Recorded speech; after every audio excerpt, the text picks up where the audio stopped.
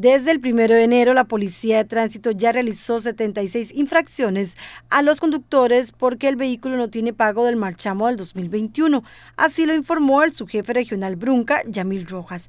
El 1 de enero se realizaron 10 multas, el 2 de enero fueron 17, el 3 de enero alcanzaron 32 infracciones, el 4 de enero 14 y el 5 de este mes 3. Realmente ha sido, considero que ha sido poco para, para comenzando inicio de lo que es del primero al día de hoy, lo que llevamos son 76 infracciones a nivel regional.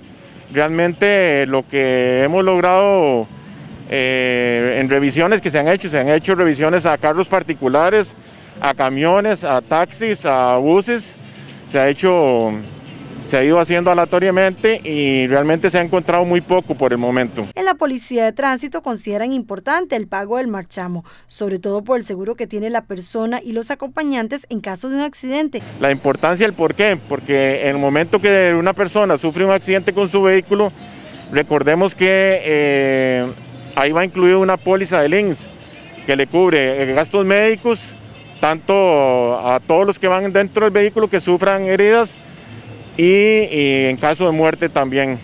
Entonces la importancia. ¿Qué pasa si no tiene derecho de circulación? Pago. No le va a cubrir nada del INSS. ¿Verdad? ¿Y la multa en cuánto está ahorita?